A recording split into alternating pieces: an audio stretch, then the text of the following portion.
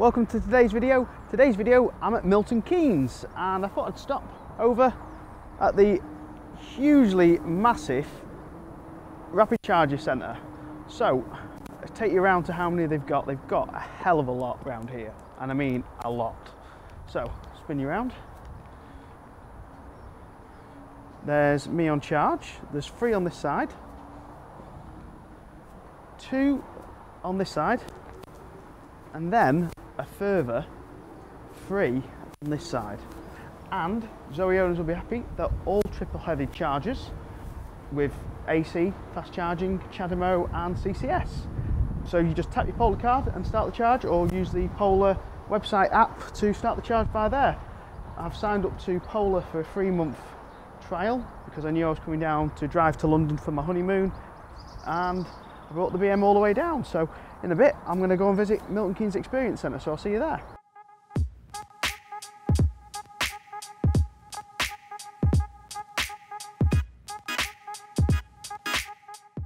Well, I'm at Milton Keynes Experience Centre, and if you've never been here, it's basically just full of EVs.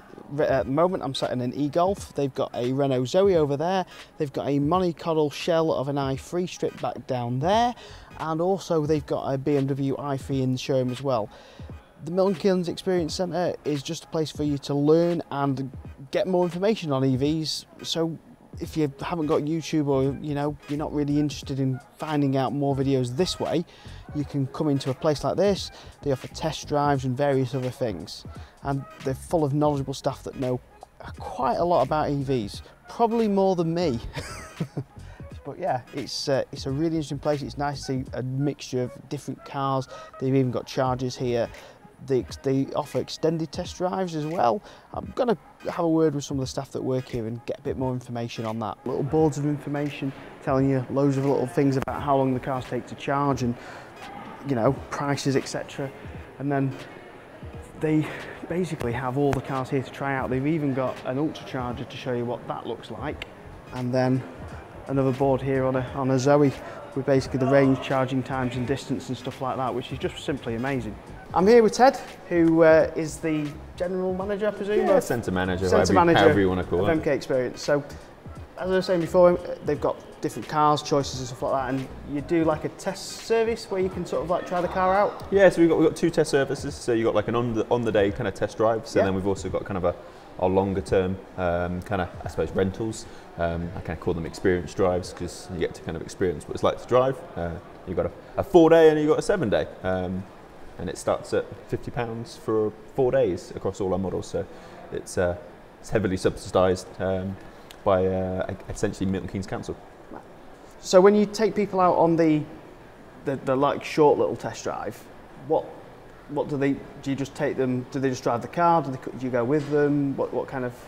So like when we start the the, um, the test drive off, really what we're doing first, well probably before we've even done the test drive, we're just kind of qualifying people, so understanding kind of what they do, their daily mileage, how often they drive over 150 miles maybe, um, can they charge at home, can they charge at work, um, build a picture of them, and then off the back of that, then we'll we'll recommend some vehicles and, and then potentially go take them out in the short term, um, which then we'll we'll take them to a couple of different maybe to a rapid charger and a fast charger. Okay, so you showed them how to how the chargers work, etc. Yeah, of course. Right. Okay, and you're you're involved heavily with ChargeMaster and Polar here. Is that is that right? Yes, so yeah. everyone who works here works for BP ChargeMaster. Okay. Um, and BP ChargeMaster kind of runs the centre itself. Yeah. Um, and yeah, it's, it's, it's uh, So it's like BP ChargeMaster, Polar, and then manufacturer support all in one. yeah. Yeah. Okay. So which ma- which manufacturers do you do you have on board here? So we've got Volkswagen, Kia, BMW, and Renault are the four manufacturers on board. Um, now they uh, they've got obviously all their vehicles here. So we've got the, the Renault Zoe, we have the BMW i3, um, the e-Golf, the e-Up, uh, the Niro PHEV. Uh, we will hopefully have the Niro, well the e-Niro, Okay. um, when it arrives. Yeah. Um, your guess is probably as good as mine when that happens. Yeah. Late. most likely. Who knows? Okay. Have you? Are you? I presume you've got the Hyundai Kona then as well, or? No, so Hyundai aren't our partner, so Okay. um, it's only our partner vehicles that we do have. Oh, okay. You got Kia. Uh, sorry, but not Hyundai. No. Okay.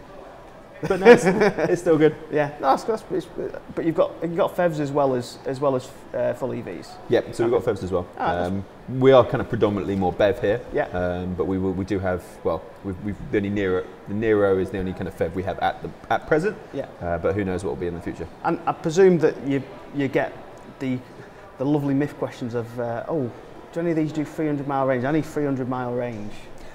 yeah, we, we get a lot of people coming and telling us how they need to go to Scotland very, very regularly, Yeah. um, or Devon. It's, it's one of the two. Um, but yeah, I think obviously that's that's kind of what we're, we're good at trying to do is trying to understand kind of. Well, I suppose you, you see it a lot yourselves. It's, it's that kind of asking people like really what, what how many miles do they actually drive in a day? And- Yeah, so so I, I presume in a way you're almost they're almost sales trained here in a way because when you kind of have that argument with someone about 300 miles, you, you kind of you've got to be a bit wit clever about it because otherwise people think you're arguing with them and they just shut down instantly. So you, you need to have you need to be pretty sort of savvy to sort of get that across to them. Yeah, I, think the- the key there is just putting yourself in in the other person's perspective. Yeah, and, and, and trying to understand where, where are they coming from because that then allows you to kind of start to kind of i suppose hopefully kind of see what they're saying and hopefully be able to get them to kind of come back towards what you kind of well the kind of the reality of the matter is we probably don't need to drive 300 miles in one go and Yeah. not many people do that in a day right. And you you don't they don't none of the cars here for sale. You refer back to manufacturer. Is that correct? Yeah, so we can't. I suppose that's probably the, the, the, the first thing to say. Really, we, we don't sell any vehicles here. Uh, the only thing we do sell is obviously this kind of the, this subsidised long-term loan kind of experience.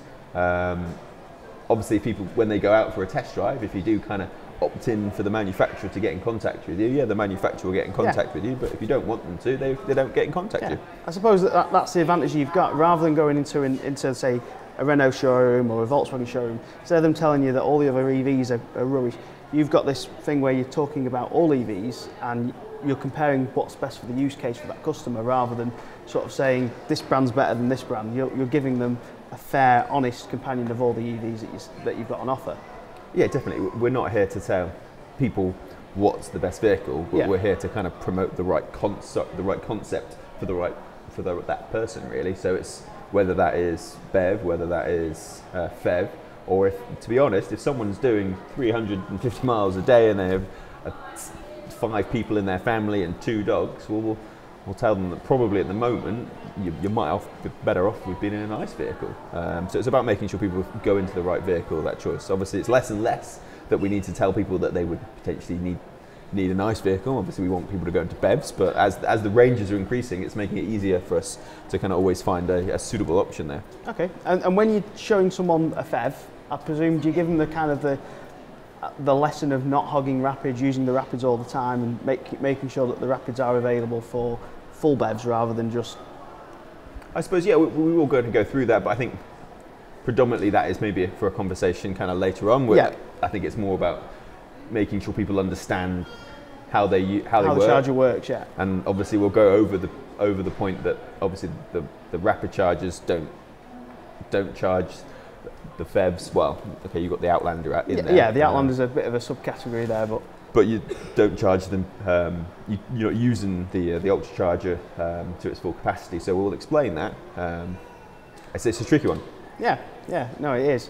I've just used the uh, MK hub down the road, the new hub. It's absolutely great. Just it's nice to go somewhere. It's all like a petrol station. It's all lit up. It's covered from rain, and just tapping the polar card and starting the charger. It's just probably one of the easiest charging networks I've ever used. Yeah, fantastic. Yeah, no, I think that's what we're trying to do. Like, and obviously, if anybody is kind of coming through Milton Keynes, please, please uh, use the charging hub and pop in and say hello. Say hello to us. Yeah, which is exactly what I've done. I'm on the way to Heathrow, so I thought stop there to the charging hub just to get a boost. I'm now parked outside the Milton Keynes uh, shopping centre, which is just littered in polar chargers. I, I, I, in fact, they're not, most of some of the posts aren't even uh, tarmac for charging only, are they? Because there's just literally so many of them. We're, we're quite lucky in Milton Keynes. I think we've got we've got over 60 rapid chargers. Um, we've got over uh, 200 and, about 250 fast chargers throughout Milton Keynes. Um, and actually, the rapid charging layout means that you're never more than about a mile from a rapid charge as well. So the, the whole of the city is is relatively covered. So we're, we're yeah we're, we're very lucky here. Yeah, it, it, when you zoom out on the map, you, you see it on PlugShare or Polar's app. It's just a cluster of charges. It's probably the most largest cluster of charges I've seen, apart from Dun- Dundee's. Probably about the nearest to Milton Keynes, I think.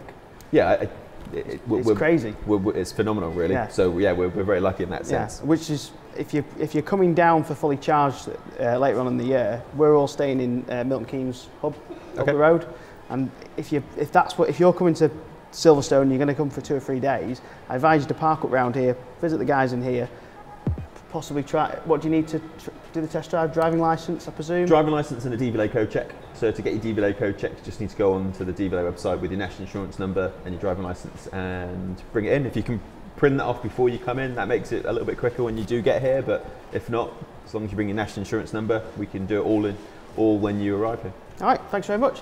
If you've enjoyed this week's video, don't forget to give it a like. Don't forget to click subscribe. Check out my Patreon page and have a look at my other videos. Thanks very much, and I'll see you again next week. Goodbye.